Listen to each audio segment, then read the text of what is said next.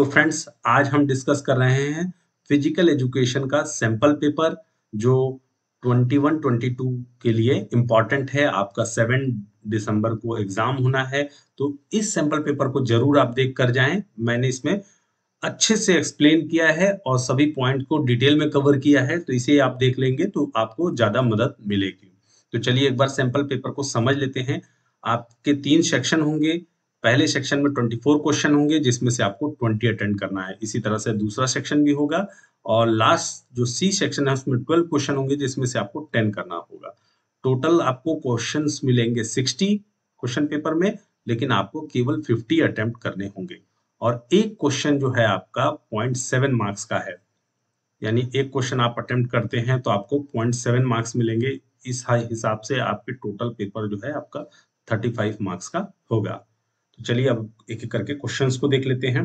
पहला क्वेश्चन है what is other name of vitamin B two यानी इसके केमिकल नेम के बारे में पूछ रहा है। तो देखते हैं एक एक करके।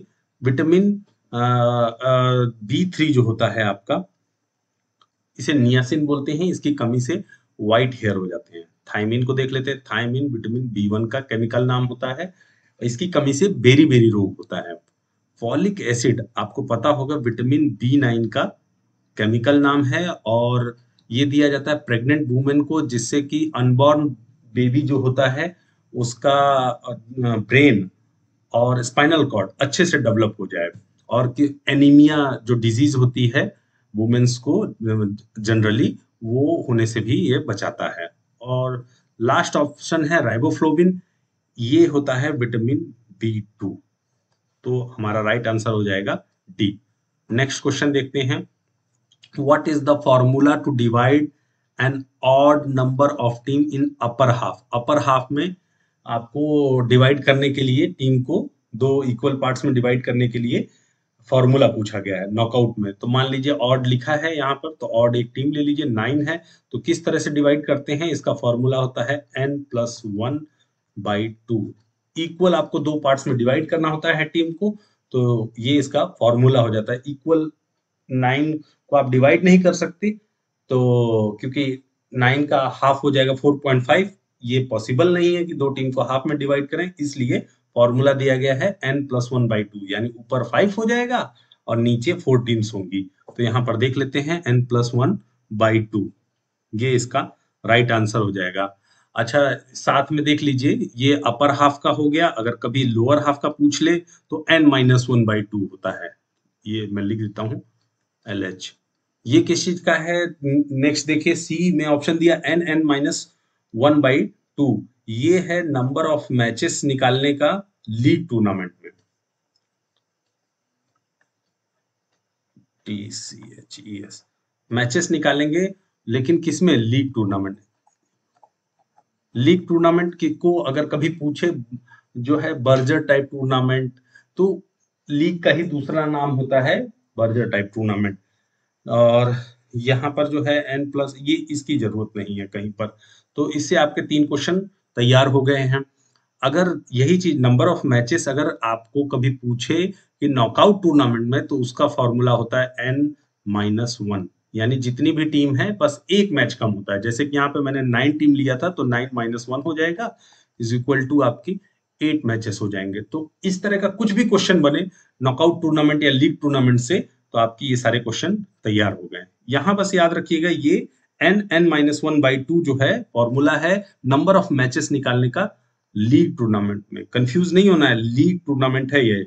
लीग को लीग को हम बर्जर टाइप या राउंड रॉबिन टाइप टूर्नामेंट भी बोलते हैं। चलिए अब अगला क्वेश्चन देखते हैं। Which test develop to test the fitness of senior citizen test senior citizen test test कहाँ पर है आपका?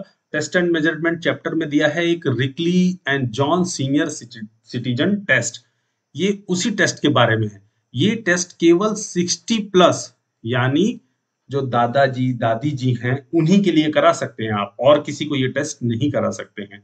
कभी पूछ ले कि कौन सा टेस्ट है केवल सीनियर सिटीजन के लिए, या फिर कभी ये पूछ ले कि फ्लर्टन फंक्शनल फिटनेस टेस्ट, ये इसी Rikli and John senior citizen test का दूसरा नाम है फ्लर्टन फंक्शनल फिटनेस टेस्ट। तो इस तरह का कुछ भी ऑप्शन आए, आपको सही करना है। देखिए, यहाँ पर Rikli and Jones senior citizen test, इसी का नाम है प्लर्टन फंक्शनल फिटनेस टेस्ट, क्योंकि ये टेस्ट केवल फंक्शनल फिटनेस को देखता है कि दादा दादी जी जो हैं अपने रोज़मर्रा के काम डेली रूटीन के काम कर पाते हैं कि नहीं कर पाते हैं? अगला क्वेश्चन देखते हैं। क्वेश्चन नंबर फोर है आपका। ये पिक्चर्स आपको दिख रही होगी। पिक्चर्स में देखिए क्या हो रहा है कि एरो इस साइड लगा हुआ है।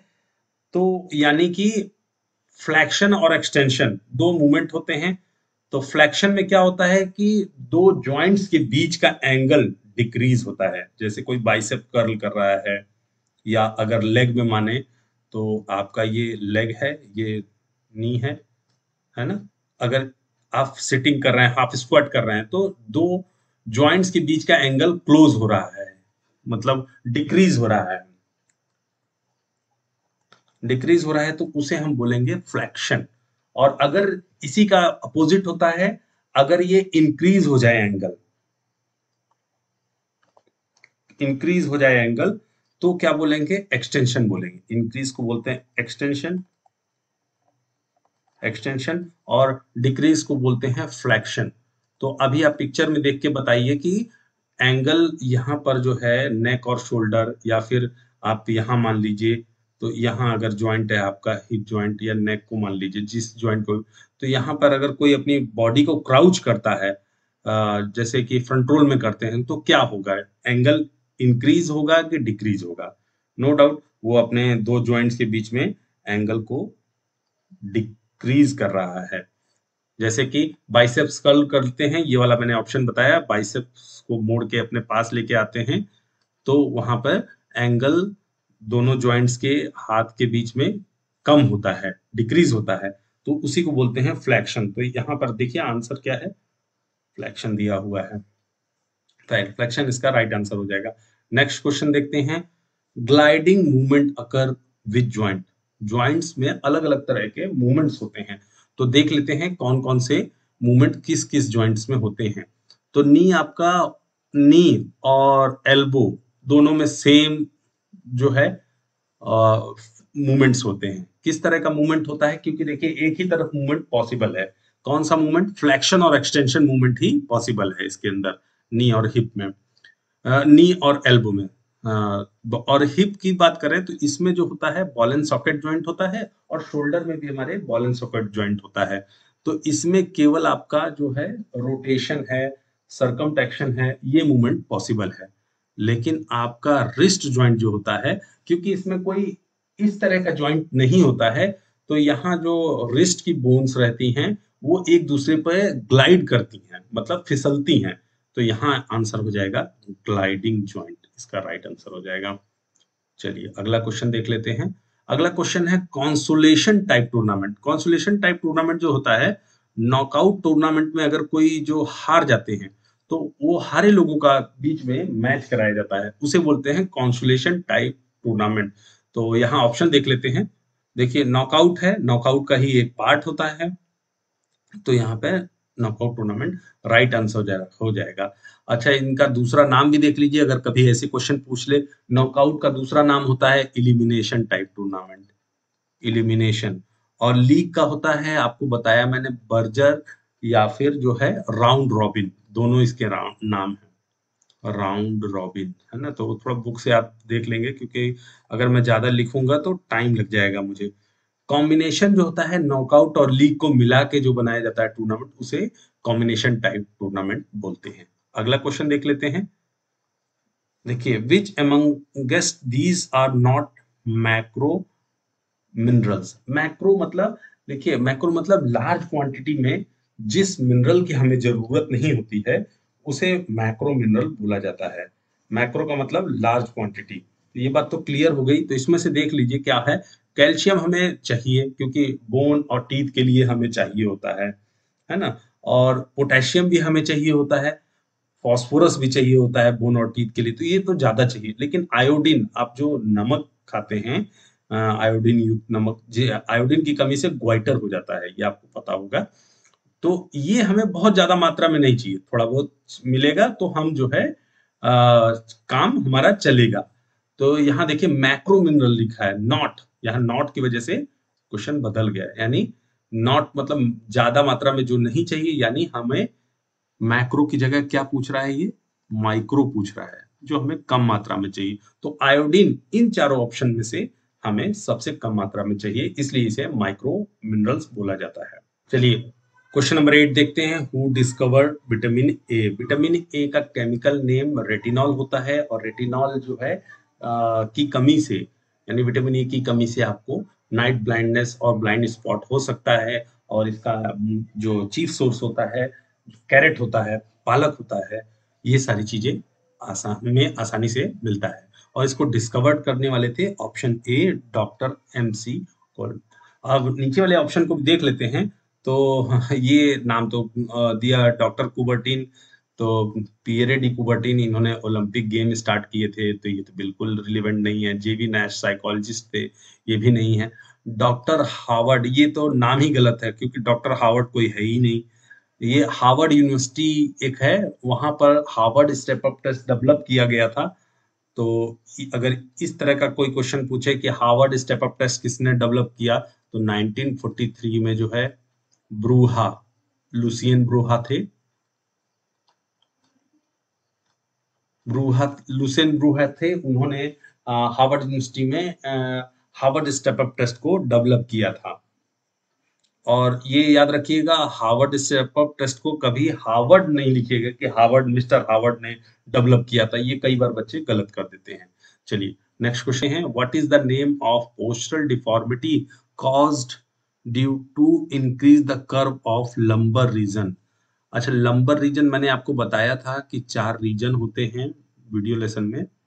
तो ऊपर का जो होता है, जो चेस्ट वाला हिस्सा या अपर बैक का हिस्सा होता है, वो वो जो होता है थोरोसिक रीजन होता है। थोरोसिक रीजन में हमेशा काइफोसिस होता है। काइफोसिस डिज़ीज़ होती है। ठीक है? और देखिए, सबसे ऊपर होता है सर्वाइकल रीजन फिर होता है काइफोसिस थोरसिक रीजन उसके बाद होता है लंबर रीजन यानी जो आपका पेट वाला हिस्सा होता है। तो पेट वाला हिस्सा अगर आगे की ओर निकल जाए, है ना? जैसे मोटे लोग होते हैं या प्रेग्नेंट वुमेन होती हैं तो थोड़ा सा पेट आगे की ओर निकल जाता है और इस समय जो है, जो स्पाइन होती है, वो आगे की ओर थोड़ी बढ़ जाती है। इसकी वजह से उनकी हाइट कम दिखाई देने लगती है। तो लंबर रीजन में क्या होता है हमेशा? क्योंकि ये इन्वर्ट कर्व और ज़्यादा इन्वर्ट हो जाता है और नॉर्मल से ज़्यादा बढ़ जाता है। तो इस जगह पे होता है लॉर्डोसिस है ना? इसको इस तरह से भी पूछ सकता है कि आ, कि कभी पूछ ले कि the postal deformity at the back तो एट द बैक जब भी पूछे तो हमेशा पीछे की जो कुबड़ निकलता है ये कुबड़ ही होता है जो आपका कैफोसिस है। तो अगर पूछे पीछे का कुबड़ क्या है तो पीछे जो आपके कंधे पर या पर बैक पर जो निकलता है उसे कैफोसिस बोलते हैं। और जो आगे की ओर कुबड़ निकलता है, यानी पेट आगे की ओर निकल जाए तो उसको कुबड़ मान लीजिए आप। जब पूछे कि पोस्टल डिफॉर्मिटी एट फ्रंट तो आपको लॉर्डोसिस आंसर करना है। अभी तो ये सिंपल से पूछा है एकदम आ रहा कि curve at the lumbar region तो सीधा पता चल रहा है लॉर्डोसिस। तो देखिए आंसर कहाँ है? आंसर डी इसका राइट आंसर हो जाएगा। इसके बारे में भी सुन लीजिए, नौकनी, इसको जो साइंटिफिक नेम बोल सकते हैं या दूसरा नेम बोल सकते हैं, इसमें क्या होता है? दोनों नी आपस में टकरा जाते हैं, जिसे जेनु वलगम नाम से भी जाना जाता है, जेनु वलगम वो लेग क्या होता है? जो नी दोनों सेपरेट हो जाते हैं और दोनों पैरों के बीच में काफ़ी गैप वाइड गैप होता है, ये गैप होता है, उसे बोलेग बोलते हैं। और इसका जो दूसरा नाम होता है, जेनु वारम। और काइफोसिस मैंने आपको बताया कि कुबड़ निकल जाता है तो उसी को बोलते हैं हम बैक हंच बैक दूसरा नाम जो है इसका हम बैक तो ये सब आप देख लीजिएगा एक बार हम बैक वीडियो लेसन में।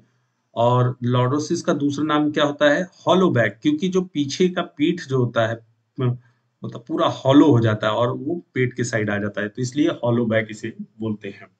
चलिए, अगला क्वेश्चन देखते हैं। Question number eleven which test is use to test the functional ability among the senior citizen तो यह ये मैंने बताया था आपको, इस सीनियर सिटीजन टेस्ट को जो है हम Rikli and John senior citizen test के नाम से भी जानते हैं और ये केवल 60 प्लस वाले लोगों के लिए ही करा सकते हैं, यानी दादाजी दादी जी के लिए ही ये है, बाकी और लोगों के लिए नहीं है।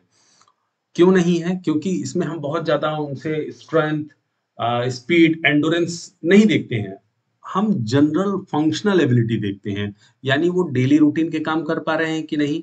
उनके हिसाब से, जब किसी व्यक्ति की 60 की एज हो जाएगी, उस समय उनको 100 मीटर की रेस नहीं दौड़ना है। उनको क्या है? अपने डेली के काम करने हैं। वो उठ, चेयर से उठ के टेलीफोन रिसीव कर पा रहे हैं कि नहीं कर पा रहे हैं अपना शूज़ वगैरह पहन पा रहे हैं कि नहीं पा रहे हैं। कुछ अगर उनको मार्केट से सब्ज़ी लेके आनी है तो वो लेके आ पा रहे हैं कि नहीं। तो इसका टेस्ट नहीं है, लेकिन यही सब चीज़ें वो जो है फंक्शनल फिटनेस होती है, जो डेली रूटीन के काम होते हैं, उनका बॉडी फ़ंक्शन कर रही है कि नहीं तो ये टेस्ट होता है। तो एक बार देख लेते हैं हम। देखिए, यहाँ पे रॉकपोर्ट टेस्ट है, ये अभी आपके सिलेबस में नहीं है। हार्वर्ड टेस्ट है, आपका जो है कार्डियोवेस्कुलर फिटनेस टेस्ट करने के लिए रिकली एंड जॉन्स जो है, यही टेस्ट है आपका सीनियर सिटीजन का। और फिटनेस इंडेक्स स्कोर ये एक अलग चीज़ है ये इससे रिलेवेंट नहीं है। तो आपका आ, सही आंसर क्या हो जाएगा? आ, आपका रिकली एंड जॉन्स यहाँ पर ये मिटा देता हूँ हार्वर्ड के सामने नहीं तो लोग कंफ्यूज हो जाएँगे। चलिए अब अगला क्वेश्चन देखते हैं the test duration for arm curl arm curl के लिए टेस्ट ड्यूरेशन क्या है? तो इसका सही आंसर है थर्टी सेकेंड ये कौन से चैप्टर से है? जो टेस्ट एंड मेज़रमेंट में इसी का इसमें टोटल सिक्स टेस्ट होते हैं, जो सीनियर सिटीजन टेस्ट होते हैं, इसमें टोटल सिक्स टेस्ट होते हैं। उनमें से एक टेस्ट है आर्म कर्ल टेस्ट और उसका ड्यूरेशन होता है थर्टी सेकेंड इसमें एक डंबल लिए रहते हैं दादाजी और उनको थर्टी सेकेंड तक उस डंबल्स को आर्म कर्ल करते हुए दिखाना है। अगला क्वेश्चन देख लेते हैं। Which postal deformity has convexity right और लेफ़्ट मतलब ये पोस्टल डिफॉर्मिटी है, जिसमें कॉन्वेक्सिटी हो जाए राइट और लेफ़्ट तो देखिए, आपने देखा होगा, जैसे आपकी स्पाइन एकदम सीधी तो होती नहीं है, लेकिन उसमें जो है, कभी आपने सुना होगा, ये इस तरह नहीं रहती है, वो थोड़ा सा टिल्ट रहती है। तो यही कॉन्वेक्सिटी अगर बढ़ जाए, किसी एक साइड में राइट या लेफ़्ट में बढ़ जाए, किसी एक साइड में बढ़ जाए तो उसे बोलते हैं स्कोलिसिस अब स्कोलिसिस भी दो तरीके का होता है, मान लीजिए इस तरह से कुछ है तो अगर कोई कॉन्वेक्सिटी बढ़ जाए एक साइड में, किसी भी साइड में, मान लीजिए इधर थोड़ी सी स्पाइन हो जाए, अगर एक साइड में है तो उसे बोलेंगे सिंगल स्कोलिसिस अगर एक साइड इधर हो गया और दूसरे साइड इधर हो गया, दूसरे साइड हो गया, इधर साइड हो गया तो दो साइड स्कोलिसिस हो गया तो उसे बोलेंगे डबल स्कोलिसिस यानी दो स्कोलिसिस है। तो यहाँ पे पहले हम इस क्वेश्चन के अकॉर्डिंग देख लेते हैं। स्कोलिसिस यहाँ राइट आंसर हो जाएगा। फ्लैट फुट क्या होता है? जब हमारे फुट के में जो होता है, हमारा जो सोल ऑफ़ द फुट होता है, उसमें एक आर्च होता है। ये आर्च डिसअपेयर हो जाए और हमारा पूरा फुट ग्राउंड के कांटेक्ट में आ जाए, उसे फ्लैट फुट बोलते हैं। नॉकनी ऊपर बता चुका हूँ कैफोसिस भी ऊपर बता चुका हूँ। बस फ्लैट फुट का दूसरा नाम जान लीजिए पेस प्लेनस या फिर फॉलन आर्च इसका दूसरा नाम होता है।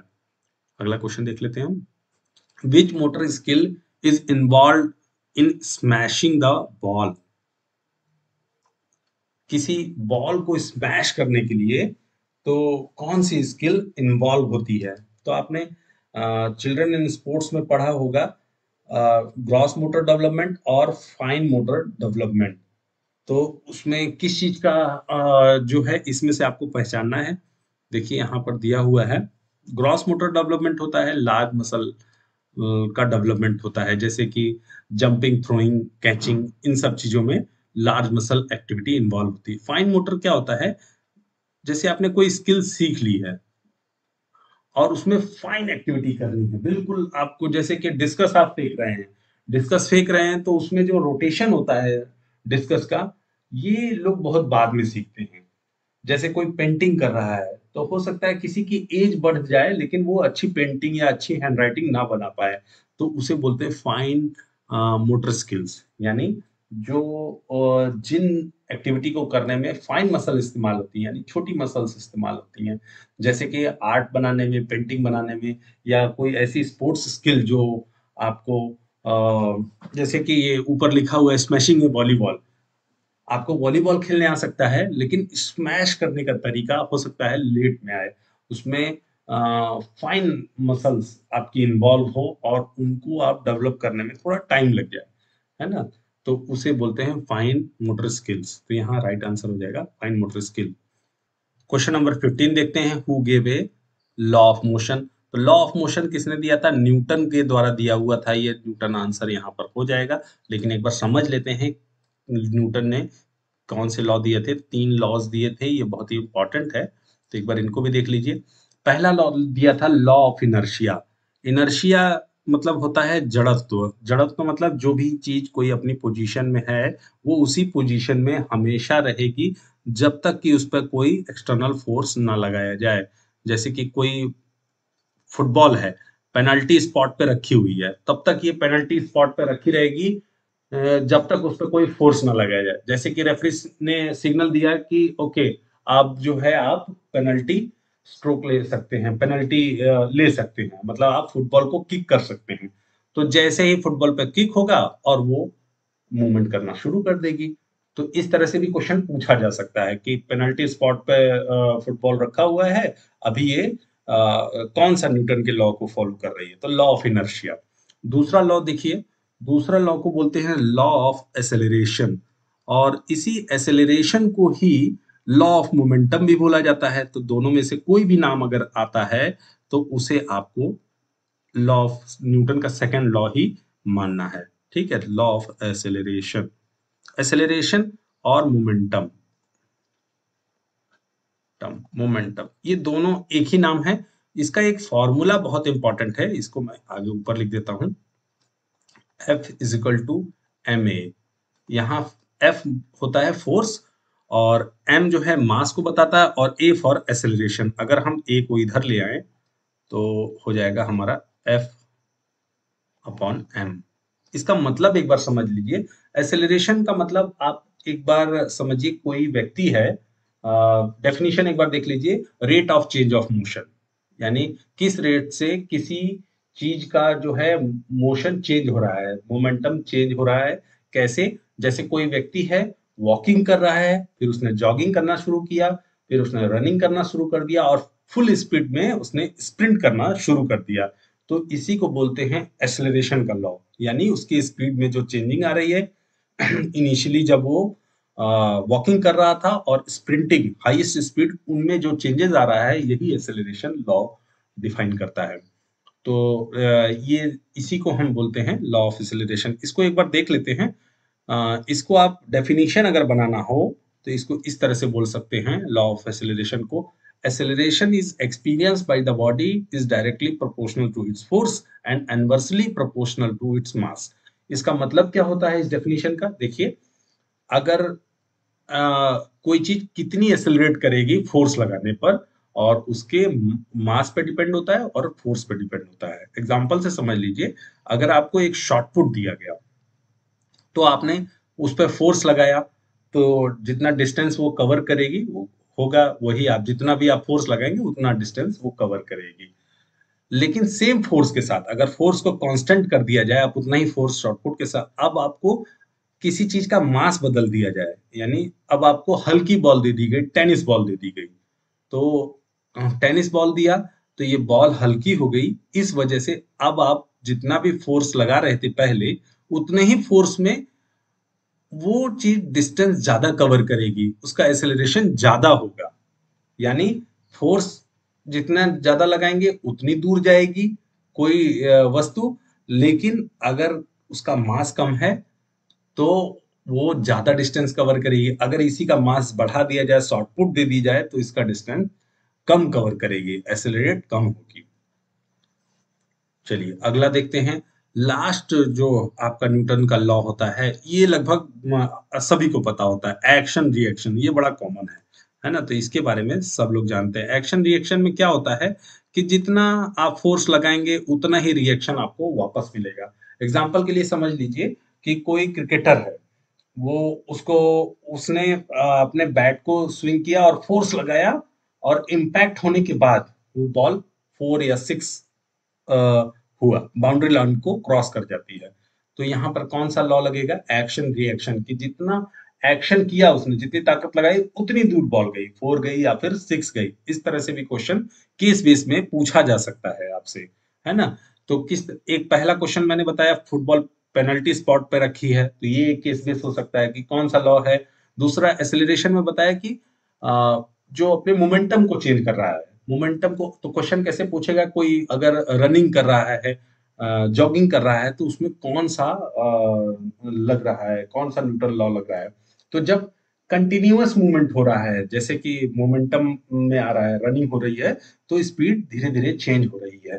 तो वहाँ पे लॉ ऑफ़ एसिलेशन लग जाएगा और एक्शन रिएक्शन क्या होगा? जैसे हाई जंप लॉन्ग जंप एक बार जितना आपने फोर्स ज़मीन में लगाया और पावर जनरेट की उतना ही आप हायर जंप कर पाएँगे या लॉन्ग जंप कर पाएँगे। जैसे कि आपने कोई आ, आ, जो है बंदूक से गोली फायर किया तो आपको पीछे जो है झटका लगता है वो भी एक्शन रिएक्शन की वजह से ही लगता है। नेक्स्ट क्वेश्चन देखते हैं। Harvard step test perform to check which kind of fitness Harvard test आपको बताया था मैंने किसने डेवलप किया था? ब्रूहा लुसियन ब्रूहा ने 1943 में इस टेस्ट को डेवलप किया था। किस लिए? कार्डियोवेस्कुलर या फिर कार्डियो रिस्पिरेटरी दो ऑप्शन में से कुछ भी हो, वो सही है। मतलब यहाँ पर देखिए कार्डियोवेस्कुलर लिखा है और कार्डियो रेस्पिरेटरी भी कई बार लिखता है तो ऑप्शन सही है। एक्सप्लोजिव मस्कुलर रिएक्शन एबिलिटी इसके लिए नहीं है। नेक्स्ट क्वेश्चन देखते हैं which fixture is also known as Berger system देखिए यहाँ पे फिर वही जो मैंने पीछे एक्सप्लेनेशन किया था बर्जर सिस्टम या फिर राउंड रॉबिन भी कभी पूछे तो दोनों सेम है। राउंड रॉबिन मैंने बताया ही था और बर्जर भी बता दिया था कि लीग टूर्नामेंट का ही टाइप होता है। अच्छा यहाँ पे ऑप्शन ही राउंड रॉबिन दे दिया है तो। राउंड रॉबिन सही हो गया, यानी या लीग टूर्नामेंट देता तब भी सही था। ठीक है कॉम्बिनेशन जो होता है आपका लीग और नॉकआउट का कॉम्बाइन होता है। चैलेंज टाइप टूर्नामेंट जो होते हैं, आपके जैसे टेनिस होता है बैडमिंटन होता है, इन सब गेम्स में होते हैं। ठीक है तो यहाँ आंसर बी सही है। अगला क्वेश्चन देखते हैं। Which of the following is not spinal curvature deformity जो स्पाइन से रिलेटेड डिफॉर्मिटी नहीं है तो स्पाइन में तीन डिफॉर्मिटी हैं आपके सिलेबस में काइफोसिस लॉडोसिस और स्कोलिसिस और यहाँ पे ऑप्शन डी दिया हुआ फ्लैट फुट क्योंकि ये फुट की डिफॉर्मिटी ये तीनों स्पाइन की डिफॉर्मिटी है। अगला क्वेश्चन देखते हैं what according to you the main cause of night blindness? अभी ऊपर देखिए, जो क्वेश्चंस मैंने ऑप्शन डिस्कस किए थे, उसी से क्वेश्चंस भी आ रहे हैं। नाइट ब्लाइंडनेस बताया था आपको विटामिन ए की कमी से होता है, जिसका केमिकल नेम रेटिनॉल होता है, और ये कहा मिलता है? आपके कैरेट में मिलता है और जो आपकी पालक होती है स्पिनिच होती है उसमें भी मिलता है।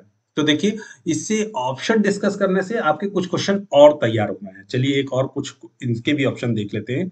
विटामिन ई e, जो विटामिन ई e का जो केमिकल नेम होता है टोकोफेरल होता है और इसकी कमी से इनफर्टिलिटी या फिर इम्पोटेंसी की शिकायत होती है। विटामिन सी ये वाटर सोल्यूबल विटामिन होता है और विटामिन सी की जो है, इसका एस्कॉर्बिक एसिड इसका साइंटिफिक नेम होता है और इसकी कमी से स्कर्वी डिफिशियंसी होती है।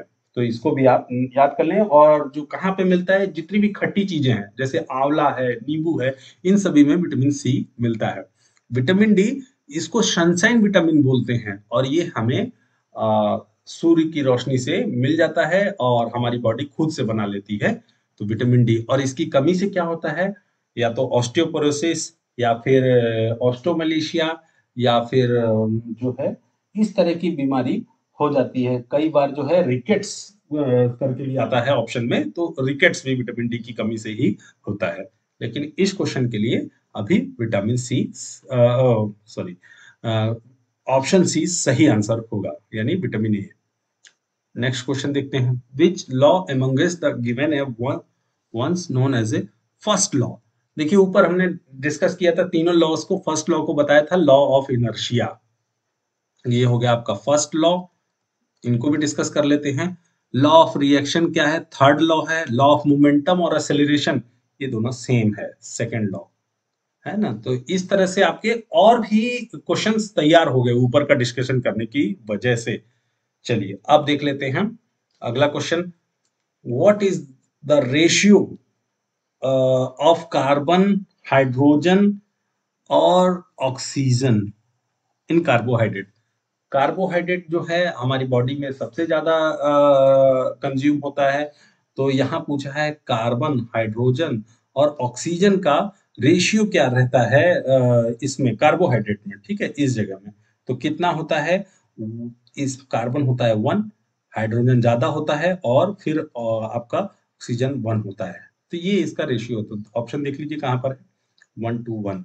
देखिए, एक क्वेश्चन कई बार ऐसे आता है कि बैलेंस डाइट जो है, जिसमें कार्बोहाइड्रेट फैट और प्रोटीन का रेशियो बताइए। तो ये देखिए, दोनों क्वेश्चन अलग है। इसमें कार्बोहाइड्रेट में कार्बन हाइड्रोजन और ऑक्सीजन पूछा है और मैं बैलेंस डाइट में बता रहा हूँ।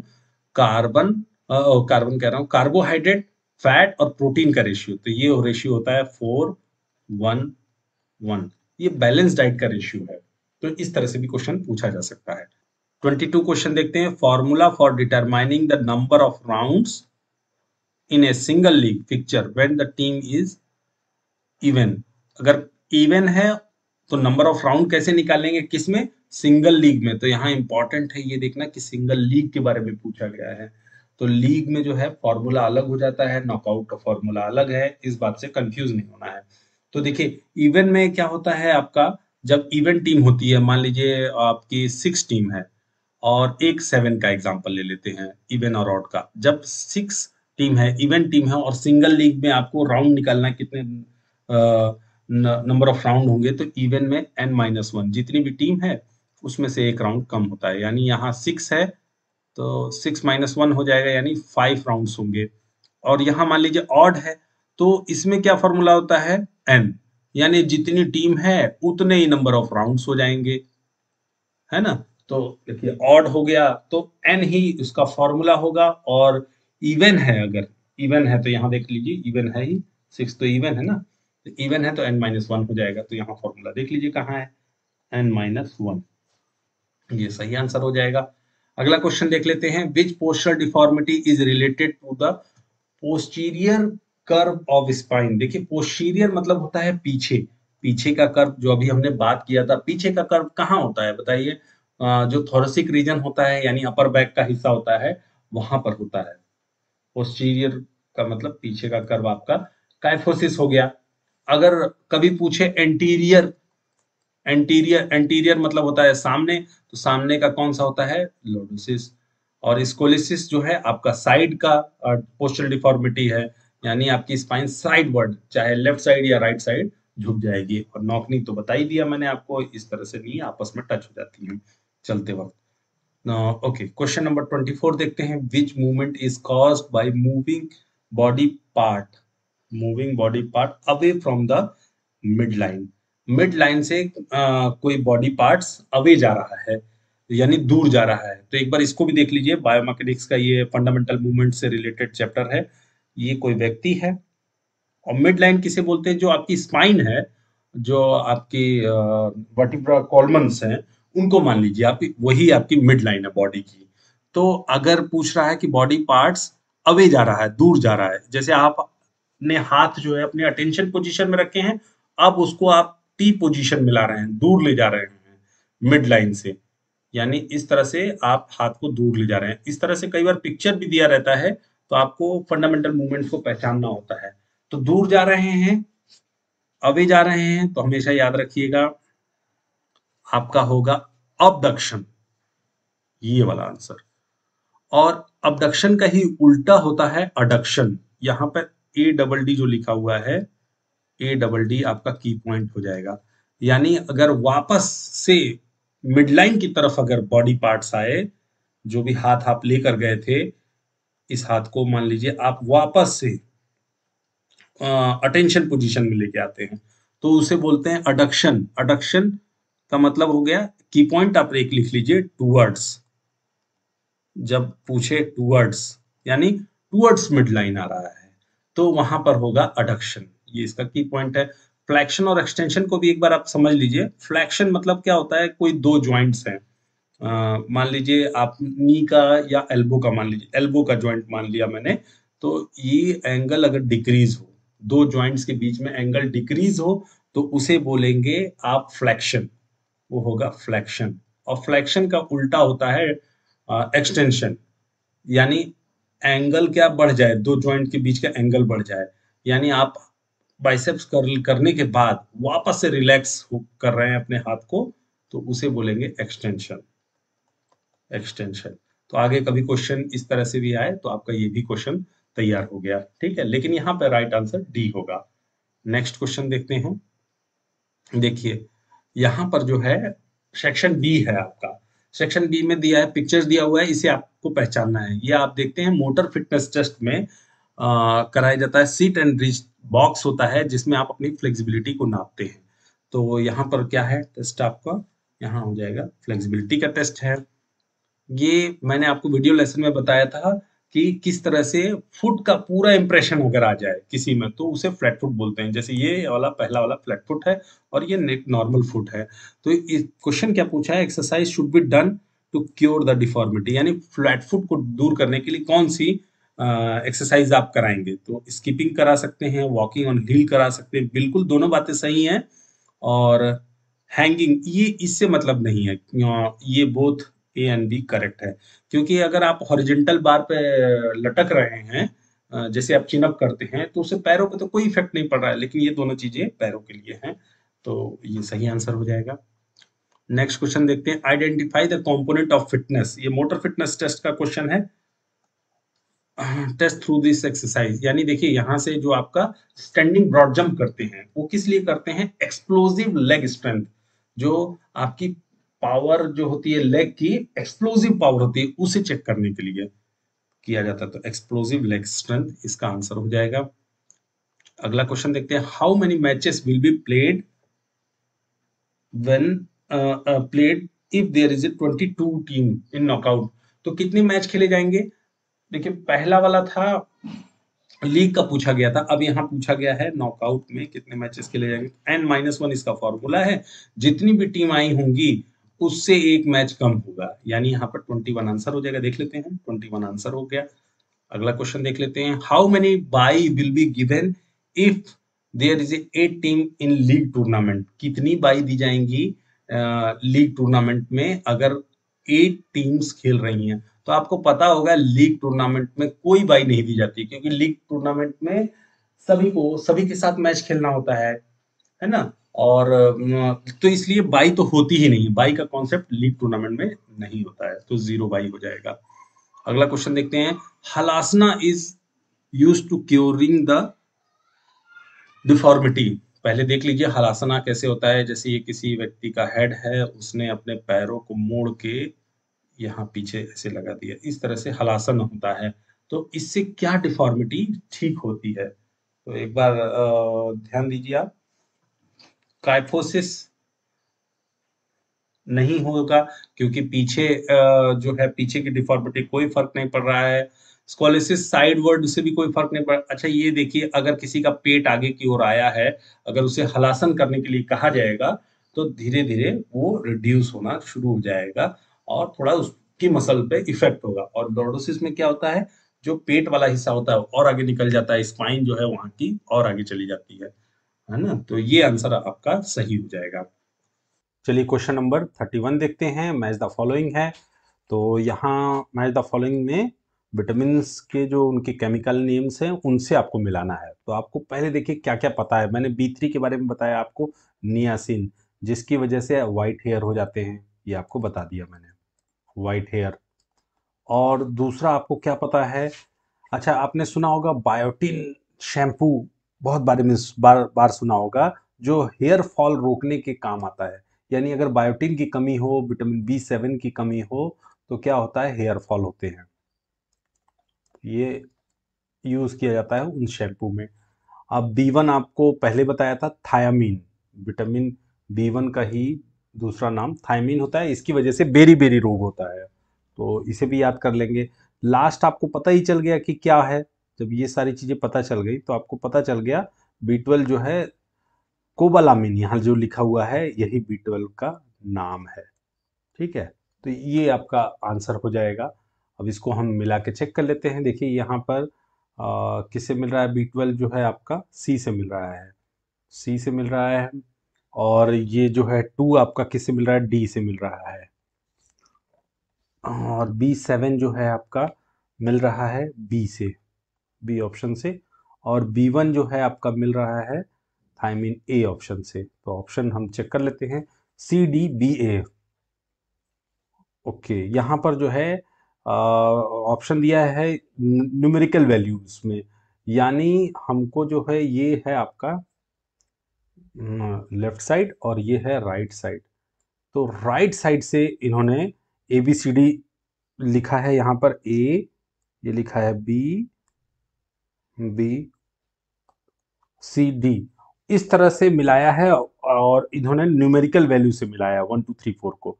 तो हम इस साइड से मिलाकर देखते हैं. तो इसी, क्योंकि ऑप्शन के हिसाब से ही हम को अपना क्वेश्चन सही करना है. तो चलिए देख लेते हैं. तो यहाँ पर हमने ये यहाँ पर ए किससे मिलाया है? लास्ट में फोर से मिलाया है। फोर से मिलाया है। और जो हमारा बी ऑप्शन हमने किससे मिलाया है? ये जो यहाँ पर थ्री दिया हुआ है थ्री से मिलाया है। और यहाँ कोबल अमीन जो है आपका किससे मिला है? वन से मिला है ऊपर। ये देखिए कोबल अमीन जो है आपका ना कोबल अमीन भी बोलते हैं। और तो ये जो है आपका इसकी कमी से वैसे एनीमिया होता है, जान लीजिए बी ट्वेल्व से। ये आपने वन से मिलाया है। नियासिन आपका बी थ्री जो था, ये किससे मिलाया आपने? टू से मिलाया है। तो इस हिसाब से four three one two answer आपका हो जाएगा। देखिए कहाँ पे फोर थ्री वन टू पहला ऑप्शन है। देखिए यहाँ पे ऑप्शन के हिसाब से हमको सेट करना पड़ा है। नहीं तो अगर इधर से पूछता, हो सकता है आपके आने वाले पेपर में इधर से पूछेगा। तो आपको पता चल जाएगा कि किधर से पूछा लेफ़्ट हैंड साइड से कि राइट हैंड साइड से। उस हिसाब से ऑप्शन के अकॉर्डिंग आप आ, सही मैच द फॉलोइंग करेंगे। चलिए अगला क्वेश्चन देख लेते हैं थर्टी टू नंबर क्वेश्चन इसमें भी देखिए ऑप्शन को एक बार देख लेते हैं। देखिए उसी तरह से न्यूमेरिकल वैल्यू दिया है तो हमको ध्यान रखना है।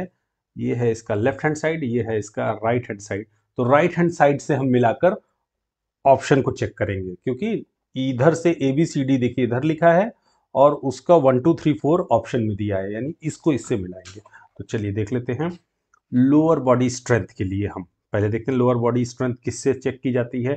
तो आपको क्या क्या पता है? मैंने बताया था लोअर बॉडी स्ट्रेंथ या एक्सप्लोजिव स्ट्रेंथ के लिए आपको ये बात पता है। लोअर बॉडी स्ट्रेंथ यहाँ से। ठीक है, ये आपका ऑप्शन हो गया, यानी ऑप्शन नंबर फोर आपका हो गया।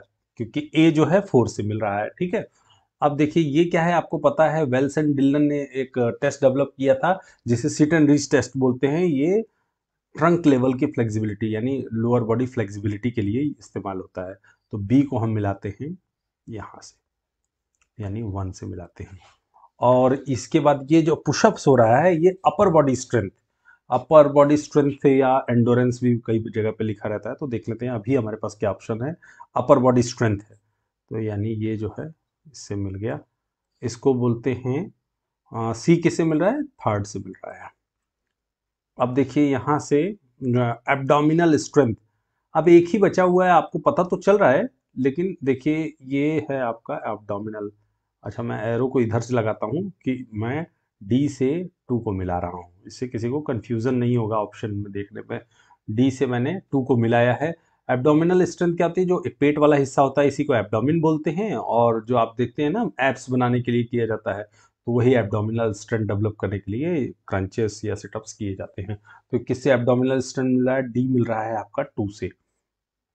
तो देखिए option four one three two four one three two देखिए अच्छा एक बात ध्यान दीजिएगा अगर हम उस तरह से नहीं मिलाते तो हमको ऑप्शन ही राइट आपको नहीं मिलता। क्योंकि देखिए, जिस तरह से ऑप्शन दिया हुआ है इसमें, अगर हम इसको मिलाते हैं वन जो है बी से, यानी टू से, देखिए, पहले भी टू कहीं दिया नहीं है। इसलिए मैंने ऑप्शन के अकॉर्डिंग इसको चेंज किया left hand side and right hand side है ना? तो इसलिए हमारा ऑप्शन सही हो गया फोर वन थ्री टू देखिए फोर वन थ्री टू यहाँ पे आंसर होगा, ठीक है? चलिए, अगला क्वेश्चन देख लेते हैं। ये भी मैच द फॉलोइंग है तो इसमें भी एक बार ऑप्शन को हम देख लेते हैं। हाँ ये भी उसी लेफ़्ट हैंड और राइट हैंड साइड से मिलाना पड़ेगा। यानी लेफ़्ट हैंड साइड इधर है, ये राइट हैंड साइड है। तो राइट हैंड साइड को हमको लेफ़्ट से मिलाना है। यानी ए बी सी डी को जो है वन टू थ्री फोर से मिलाना है। है ना? तो एरो हम इधर से खींचेंगे और इधर ही से नंबरिंग करेंगे। तो देखिए हॉर्स राइडिंग दिया हुआ है हलासन दिया है त्रिकोण आसन दिया है और गरुणासन दिया हुआ है। और कुछ पोस्टल डिफॉर्मिटी दी हैं तो उनको ठीक करने के लिए कौन सी रेमेडीज होंगी? तो मान लीजिए ये हॉर्स राइडिंग है तो हॉर्स राइडिंग में दोनों पैर दोनों साइड होते हैं, यानी साइकिलिंग में और हॉर्स राइडिंग में दो साइड हों तो यानी अगर किसी के नी चिपके हुए होंगे तो उनके लिए ये ठीक होगा कि वो नौकनी ठीक करने के लिए हॉर्स राइडिंग या साइकिलिंग कर सकते हैं। तो यहाँ वन वन से मिल गया। अब देखिए अगला क्या है? ये आपका जो है, अभी ऊपर हमने देखा भी था ये लॉडोसिस डिफॉर्मिटी को ठीक करने के लिए। क्या करते हैं, देखिए आपका पेट अंदर की ओर जाएगा ना, जो स्पाइन की ये डिफॉर्मिटी होती है लोअर बैक की यानी लंबर रीजन की स्पाइन की डिफॉर्मिटी है तो इसको फिर अपोजिट करने के लिए अगर हलासन करेंगे तो ये अंदर की ओर जाएगा और ठीक होगा। तो आपका ये मिल गया बी मिल गया थ्री से।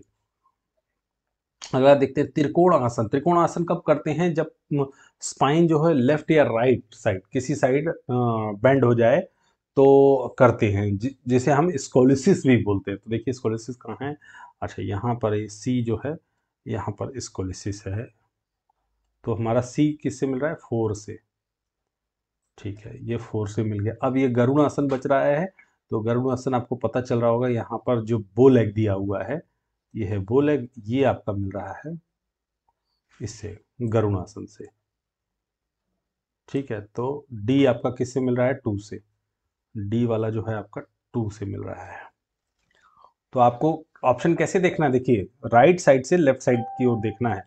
यानी one, three, four, two option देखना है। वन, थ्री नहीं है। वन, थ्री, फोर, टू, यानी सी ऑप्शन आपका राइट हो जाएगा। अब इसमें कंफ्यूज नहीं होना है, आपको क्योंकि एरो लगाकर भी बता दिया है, अब किस तरफ़ से भी आता है, आप उसको कर सकते हैं। मेन आपको कॉन्सेप्ट समझ के रखना है, ठीक है? तो वन थ्री फोर टू इसका आंसर हो जाएगा। चलिए, अब अगला देख लेते हैं।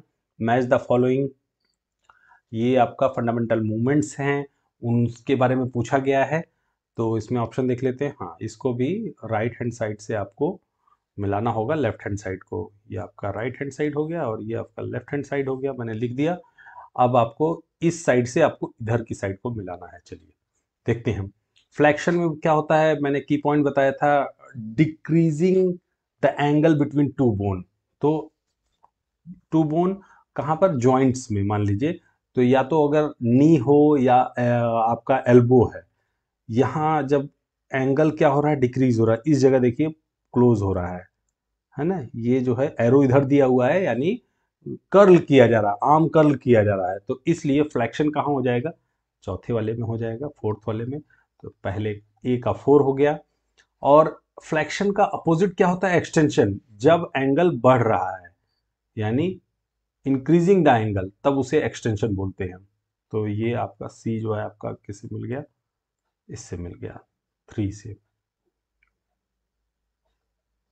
थ्री से। अडक्शन अबडक्शन मैंने बता दिया आपको। एड वाला चीज़ मतलब टूवर्ड्स मिड लाइन इसका की पॉइंट है टूवर्ड्स मिड लाइन और मिड लाइन क्या होती है? स्पाइन होती है। तो ये अगर आपकी स्पाइन है बीच में सेंटर में टूवर्ड्स आ रहा है ये दोनों हाथ, आपस में क्लोज आ रहे हैं टेंशन पोजीशन की तरफ़ तो ये अडक्शन हो जाएगा। कई बार पूछता है कि आप पीटी ड्रिल्स कर रहे हैं तो पीटी एक्सरसाइज कैसे करते हैं? अटेंशन से आप हाथों को ऊपर क्लैप कर रहे हैं। तो कौन सा मूवमेंट हो रहा है? तो अडक्शन अबडक्शन दोनों मूवमेंट होते हैं। ऊपर ले जाते हैं तो धीरे धीरे आपका अबडक्शन होता जाता है, फिर वापस ले आते हैं तो अडक्शन होता है। तो इसलिए अडक्शन अबडक्शन दोनों साथ में कई बार ऑप्शन दिए रहते हैं, है ना? किसी मूवमेंट को पहचानना है तो। तो आपका बी किससे मिल रहा है? आपका वन से मिल रहा है। अब आपको लास्ट है, इसको ये आपको पता चल गया होगा, लेकिन फिर भी आप जान लीजिए, देखिए ये मिड लाइन से अवे जा रहा है। बाहर की ओर जा रहा है, ये डिस्टेंस बढ़ रहा है। तो जब मिड लाइन से डिस्टेंस बढ़ जाता है अवे जाता है तो उसे बोलते हैं अबडक्शन तो इसका आंसर हो जाएगा डी का। ये वन है। पिक्चर्स थोड़ा सा ऊपर नीचे हो रखी है। ये देखिए वन है और ये टू है यहाँ पर। तो यहाँ टू से मिल रहा है ये। है ना? तो ऑप्शन देख लेते हैं। Four one three two four one three two यानी ऑप्शन नंबर फोर जो है इसका राइट right आंसर हो जाएगा। ठीक? थर्टी फाइव क्वेश्चन देखते हैं। Which statement is not true about protein protein के बारे में कौन सा स्टेटमेंट सही नहीं है? तो protein form and new tissue आपको पता है protein body building type food होता है और ये नए टिश्यूज और सेल्स को जनरेट करता है और रिपेयर भी करता है। तो ये इसका बिल्कुल सही है, ये तो है, लेकिन यहाँ हमें नॉट खोजना है। Protein regulate the balance of water and acid बिल्कुल सही बात है बैलेंस करता है। Protein help in production of hormones ये इसका ऑप्शन नहीं होगा ठीक है? प्रोटीन मेक एंटीबॉडीज बनाता है ये आ, आ, बनाता है हाँ बनाता है ये भी बात सही। यहाँ पे ये तीनों बातें सही हैं लेकिन हमको क्या खोजना है यहाँ पे नॉट खोजना है। कौन सी बात सही नहीं है? तो इन तीनों चारों में से ये बात सही नहीं है। नॉट ही खोजना था हमको तो ये आंसर सही हो जाएगा। अब देखते हैं अगला question how many round will be played if number of teams are 29 in knockout tournament तो 29 uh, आपकी टीम दी हुई है उसमें आपको नंबर ऑफ़ राउंड्स निकालना है है ना? तो किस तरह से निकालते हैं आप एक बार फॉर्मूला याद कर लीजिए। फॉर्मूला इसका कुछ नहीं होता है बस ये आपको देखना होता है बाई आप जैसे निकालते हैं। टू की हमें ऐसी पावर लेती है लेनी होती है next power of two minus number of team निकालते हैं ना। उसी तरीके से इसको भी करते हैं। तो आपको सीधा सीधा जब भी नंबर ऑफ़ राउंड पूछे तो आपको क्या करना है? टू की पावर के रूप में आपको लिख देना है पहले। Two into two into two into two तो देखिए कितना हुआ? Two value two four eight and sixteen अभी सिक्सटीन से ज़्यादा है ये ट्वेंटी नाइन है ना? तो अभी और एक बार और टू लिखना पड़ेगा। तो यहाँ पे हो गया टू फोर एट सिक्सटीन और थर्टी टू थर्टी टू हो गया, है ना? यानी इसको हम टू टू दावर फाइव भी लिख सकते हैं। तो जो पावर की वैल्यू होती है टू पर, उसी को नंबर ऑफ़ राउंड निकालने के लिए यूज़ किया जाता है। यानी two to the power five आया तो यहाँ पर आंसर आपका फाइव हो जाएगा। अगर यही बोले कि ट्वेंटी नाइन टीम्स है और नंबर आपको बाई निकालना है तो कितनी बाई हो जाएँगी? तो आपको फिर क्या होगा? पावर ना लेकर आपको उसकी वैल्यू लेना है thirty two minus twenty nine by निकालने के लिए। अगर आपको बाई निकालने के लिए बोले देखिए क्वेश्चन अगर बदल जाए तब की बात कर रहा हूँ। तो thirty two minus twenty nine आप अगर करते हैं तो आपका आ जाएगा तो हो जाएगा आपका थ्री। थ्री बाई आपकी हो जाएगा।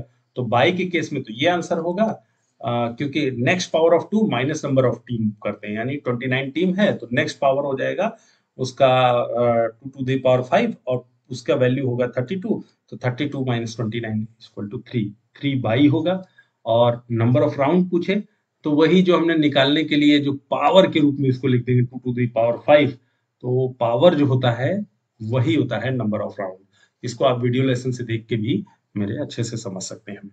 क्वेश्चन नंबर थर्टी सेवन देखते हैं आइडेंटिफाई द ऑड वन इसमें से ऑड क्या है? तो पहला पिक्चर देखिए, ये है Rikli and John senior citizen test का। Test item back scratch test, यानी इसमें जो है फ्लेक्सिबिलिटी नापा जाता है शोल्डर की, है ना? तो ये टेस्ट है सिटन back scratch test senior citizen का। ये भी जो है स्ट्रेंथ देखी जाती है सीनियर सिटीजन टेस्ट में बाइसेप्स कर्ल कराया जाता है चेयर पे बैठ के। और ये जो है फ्लेक्सिबिलिटी देखी जाती है लेग की सिटन उसमें, आपके सीनियर सिटीजन टेस्ट में। और हार्वर्ड स्टेप अप टेस्ट है ये, जिसमें कार्डियोवेस्कुलर फिटनेस यूज़ को मेजर करने के लिए इसे इस्तेमाल किया जाता है।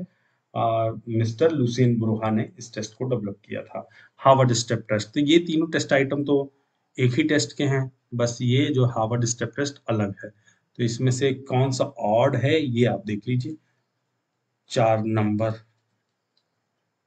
फ्रेंड्स, अगला सेगमेंट है असरसन और रीजन। ये बहुत ही इंपॉर्टेंट पार्ट है और ये नया कॉन्सेप्ट है। इसे किस तरीके से आ, आसानी से सॉल्व किया जाता है? किस तरह से असरसन रीजन को ठीक तरीके से सॉल्व करने का आसान तरीका मैं आपको बताऊँगा। लेकिन ये वीडियो क्योंकि बहुत लंबी हो रही है तो अभी हम इस वीडियो को एंड यहीं पर करते हैं और असरसन और रीजन के लिए मैं पार्ट टू वीडियो बना दूँगा तो उसे भी आप ज़रूर देख लें। और आपको टर्म वन का पूरा सिलेबस और उसकी वीडियो का सारा लिंक आपको कमेंट बॉक्स और डिस्क्रिप्शन बॉक्स में मिल जाएगा। तो आप चाहें तो उसे भी जाके रिवाइज कर सकते हैं, कॉपी करके आप उसे अपने व्हाट्सअप या कहीं मेल पर रख सकते हैं, जब भी ज़रूरत हो। उसे सीक्वेंस वाइज मैंने वीडियो को लगाकर टर्म वन के हिसाब से आपको मैं डिस्क्रिप्शन में दे दे रहा हूँ, उसे आप ज़रूर देख लें। तो चलिए यहाँ पे मैं एंड करता हूँ और आपको all the best for examination thank you Jai Hind, Jai Bharat.